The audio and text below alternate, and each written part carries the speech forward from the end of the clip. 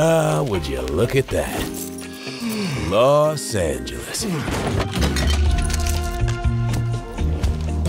City of dead dreams. Dead ends. And the dead.